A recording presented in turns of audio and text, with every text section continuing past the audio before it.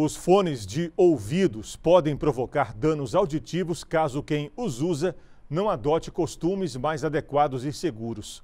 Uma especialista explica como prevenir e quais cuidados devem ser tomados para evitar problemas de audição. A saúde auditiva pode ser comprometida pelo simples descuido com o volume do som ao usar fones de ouvido.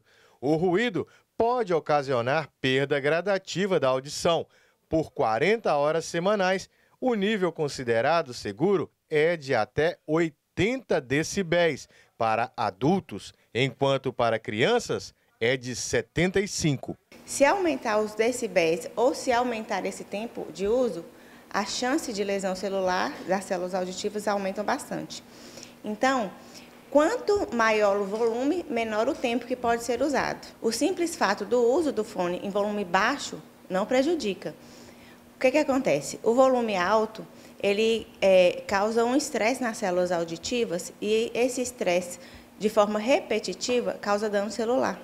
Então, a pessoa pode usar o fone, mas desde que use em volume baixo. Importante lembrar que o fone de ouvido intra-auricular é um perigo gritante, além daqueles conectados via Bluetooth sem modulação sonora. Aqueles que, que, são colocados dentro do ouvido são os mais prejudiciais, então esses devem ser evitados. Na casa da Marcela, o silêncio prevalece no ambiente por causa do costume dela em usar o fone para fazer as atividades diárias sem perturbar os moradores. Eu uso fone de ouvido no, nas minhas atividades físicas, na academia e uso quando eu preciso fazer algo em casa, que me demanda mais um tempo, né? Uma cozinha ou arrumar alguma coisa, mesmo assim para me distrair. A estudante já sentiu mal e pensou que a dor de cabeça e o zumbido no ouvido fossem por causa da falta de óculos. Zumbidos no ouvido, a gente sempre dá, né? Aquela escutadinha assim, dor de cabeça frequente. Eu procurei uma vez por achar que era vista, né?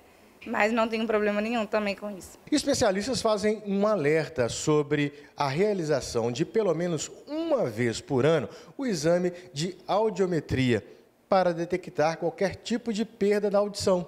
O hábito de ouvir som acima de 120 decibéis pode provocar danos imediatos, o risco de perda auditiva depende do volume, da duração e frequência da exposição ao ruído. A recomendação é que esse uso do fone, do, do fone de ouvido, seja, seja usado no volume de 50% abaixo lá da linha do volume do aparelho. Então, se o aparelho vai até o número 100, você pode usar até 50.